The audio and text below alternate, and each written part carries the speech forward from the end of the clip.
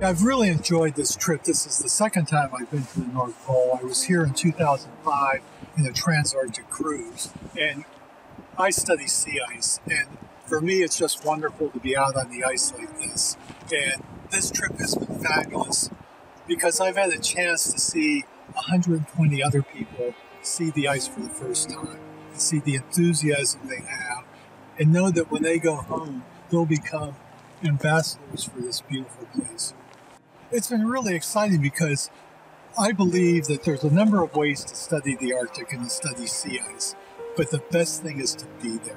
And on this cruise, you're here. We've measured melt ponds. We've looked at how salty they are, how deep they are, how warm they are, and that information is really important. And the information for the Ice Watch is really being assimilated into models today to help improve predictions of sea ice.